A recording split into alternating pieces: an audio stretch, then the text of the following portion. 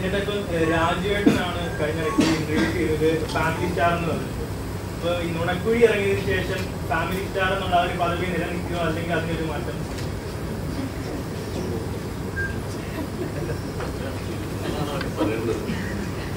Cinema ഇറങ്ങട്ടെ എന്താ പറയാ?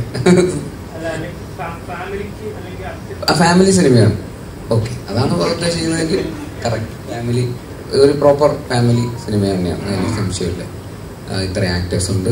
അതിന്റെ ഹ്യൂമറൊക്കെ ആരെയും ഉപദ്രവിക്കുന്ന തരത്തിലുള്ള ഹ്യൂമറൊന്നുമല്ല തീർച്ചയായിട്ടും അതൊരു ഫാമിലി കോമഡി എന്റർടൈനർ എന്ന് പറയുന്ന കാറ്റഗറിയിൽ വന്ന് കണ്ട് ആസ്വദിച്ചിട്ട് പോകാൻ പറ്റുന്ന ഒരു സിനിമ തന്നെയാണ്. എന്ന് തന്നെയാണ് ഞങ്ങൾ വിശ്വസിക്കുന്നത്. നൂറ് ശതമാനം. അതിലൊരു സംശയം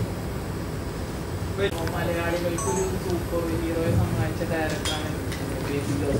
അദ്ദേഹത്തിന്റെ ഡയറക്ടോറിയൽ വിഷൻ എങ്ങനെയാണ്?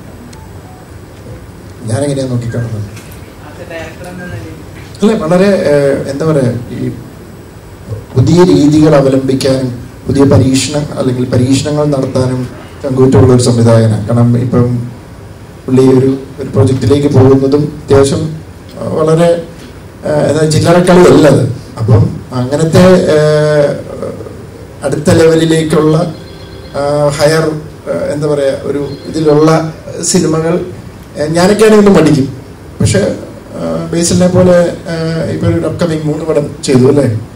അപ്പോൾ അപ്പൊ ആ മൂന്ന് പടത്തിലും വ്യത്യസ്തമായ പടങ്ങൾ അത് ഓരോന്ന് സ്റ്റെപ്പ് ബൈ സ്റ്റെപ്പ് അത് വളർന്നു വളർന്നു വരികയാണ്. അപ്പൊ അത് പ്രത്യേകിച്ച് മിന്നൽ മുരളി പോലെയുള്ള പടങ്ങളൊക്കെ അങ്ങനെ കൺസീവ് ചെയ്ത് ചെയ്യാന്ന് പറഞ്ഞാൽ ഒരു അതൊരു വലിയ ഒരു വലിയ കാര്യമാണ്. അത് ഭയങ്കര ഒരു വിഷണറി ആയിട്ടുള്ള ഒരു ടെക്നീഷ്യനാണ് അത്.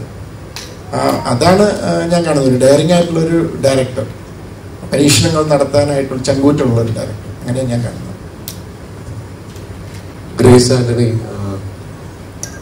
ഉർവശി ചേച്ചി കൽപ്പന തുടങ്ങിയ വലിയ ആർട്ടിസ്റ്റുകളായിട്ടാണ് സോഷ്യൽ മീഡിയയിൽ താങ്കൾ കമ്പാരിസൺ ചെയ്യുന്നത് കമ്പയർ ചെയ്യുന്നത്. അതൊരു ബാധ്യതയല്ലേ? എപ്പോഴെങ്കിലും പെർഫോം ചെയ്യാൻ ക്യാമറയ്ക്ക് മുമ്പിൽ എത്തുമ്പോൾ ഒരു ടെൻഷൻ ഫീൽ ചെയ്യാറുണ്ടോ? ഞങ്ങൾ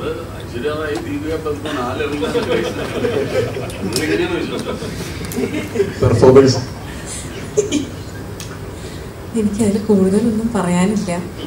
കാരണം എല്ലാവരും ഇത് ചോദിക്കുമ്പോൾ മറുപടി ഓൾറെഡി ഞാൻ പറഞ്ഞു. അത് ആ ആ ഒരു ടൈമിലേ ഉള്ളൂ അത്.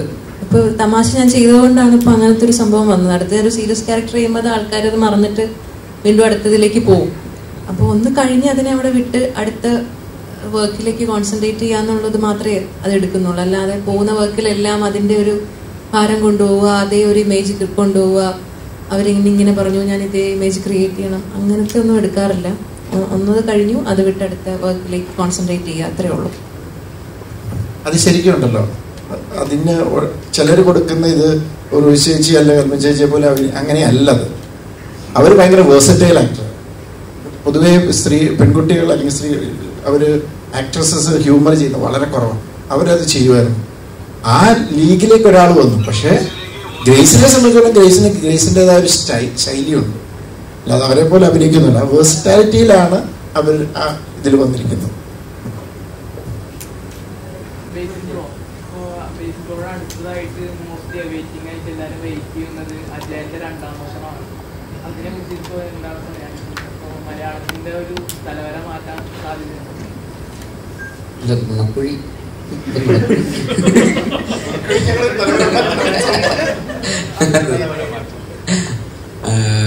ഇല്ല, അജയന്റെ രണ്ടാം മോഷണം ഭയങ്കര എക്സൈറ്റഡ് ആയിട്ട് ഞാനും നോക്കി കാണുന്ന ഒരു സിനിമയാണ് ഈ പറയുന്ന ഓണത്തിനാണ് റിലീസ് എന്റെ കൂടെ മുമ്പ് വർക്ക് ചെയ്തിരുന്ന ജിതിൻ ലാലാണ് അതിന്റെ ഡയറക്ടർ കുഞ്ഞിരാമായണത്തിലും ഗോതയിലൊക്കെ അസിസ്റ്റന്റ് ഡയറക്ടറായിരുന്നു അപ്പോൾ അതിന്റെ ഒരു എക്സ്ട്രാ സന്തോഷം കൂടെ ഉണ്ട്. അതും കൂടാതെ ടൊവീനോ റോൾ അഭിനയിക്കുന്ന സിനിമ എന്നുള്ളൊരു അത് കൂടുതൽ സന്തോഷം കൊടുക്കുന്നുണ്ട്. പിന്നെ ഔട്ട് ആൻഡ് ഔട്ട് ടൊവീനോ സിനിമയാണത് അവൻ മൂന്ന് ക്യാരക്ടർ മൂന്ന് റോളുകൾ ചെയ്യുന്നുണ്ട് ആ സിനിമയിൽ മൂന്ന് കാലഘട്ടങ്ങളിലൊക്കെ ആയിട്ട്. അപ്പോൾ അതിന്റെതായിട്ടുള്ള ത്രൂ ഔട്ട് ടൊവീനോ സിനിമയാണ് ജിതിൻ കുറേ കഷ്ടപ്പെട്ടിട്ട് ഏഴെട്ട് വർഷമായിട്ട് ആ സിനിമയുടെ പിന്നാലെയാണ്. അത്രയും സ്കെയിലിൽ ആദ്യത്തെ സിനിമ ചെയ്യാന്ന് പറയുന്നത് അത്ര എളുപ്പമുള്ള കാര്യമല്ല. ഇത്രയും ബജറ്റൊക്കെ വെച്ചിട്ട് ഒരു ഇത്രയും ടെക്നീഷ്യൻസിനെ കൺവിൻസ് ചെയ്യണം പ്രൊഡ്യൂസേഴ്സിനെ കൺവിൻസ് ചെയ്യണം ആക്ടേഴ്സിനെ കൺവിൻസ് ചെയ്യണം. ഇതെല്ലാം ഒരു എട്ട് വർഷത്തെ ജേണിയാണ് അവന്റെ. അതിന്റെ സ്റ്റാർട്ടിങ് മുതൽ അവസാനം വരെ. എപ്പോഴാണ് ഞാൻ ഷൂട്ട് ചെയ്തത് എനിക്ക് ഓർമ്മയുണ്ട്. ടു തൗസൻഡ് രണ്ട് വർഷം മുമ്പ് കണ്ടാണ് ഷൂട്ട് ചെയ്തതൊക്കെ. അപ്പോൾ അത് കഴിഞ്ഞ് ഇത്രയും സമയം എടുത്തു. അത് പോസ്റ്റ് പ്രൊഡക്ഷനും ഒക്കെ കഴിഞ്ഞ് ഇപ്പോൾ ഓണത്തിന് വരുന്നു.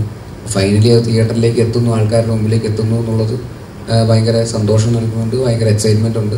ആ സിനിമ ഈ പറയുന്ന പോലെ അതിന്റെ വി എഫ് എക്സും അതിന്റെ സ്കെയിലും ആക്ഷനും ഒക്കെ ആയിട്ട് അതിനൊരു വലിപ്പമുണ്ട്. അത് തലവരെ മാറ്റുമെന്നുള്ള കാര്യം നമുക്ക് സിനിമ ഇറങ്ങി കഴിയുമ്പോഴേ അറിയുള്ളൂ. പക്ഷെ അവർ അതിന്റെതായിട്ടുള്ള ഹോംവർക്ക് ചെയ്ത് അതിനനുസരിച്ചുള്ള ഒരു എഫേർട്ട് അവർ ഇട്ടിട്ടുണ്ട്.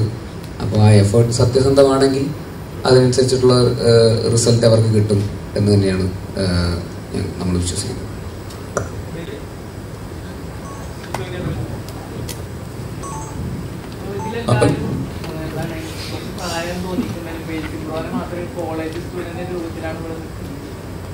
ബാക്കിയുള്ള എല്ലാവർക്കും നല്ല പ്രായമുണ്ട് മോനെ.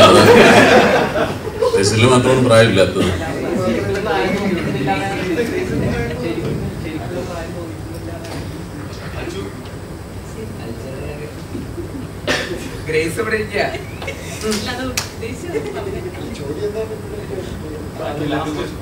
അതിൽ കോംപ്ലിമെന്റ് കൊടുത്തതാണ് ബേസിൽ അത് ഞങ്ങളും സമ്മതിച്ചു തന്നു. എന്തായാലും ഒരുപാട് സന്തോഷം. ഇത്രയും സമയം നിങ്ങളോടൊപ്പം ചെലവഴിക്കാൻ സാധിച്ചത്. ഇനി ഞങ്ങളൊക്കെ വേറെ ഓരോ ജോലികൾ ചെയ്തുകൊണ്ടിരിക്കുന്നതിന്റെ ഇടയിൽ നിന്ന് ഓടി വന്നതുകൊണ്ടാണ്. അപ്പോൾ ഈ സിനിമ ഒരു വൻ വിജയമാക്കി തീർക്കാൻ നിങ്ങളുടെ ഭാഗത്തുള്ള ശ്രമം വളരെ വലുതാണ്.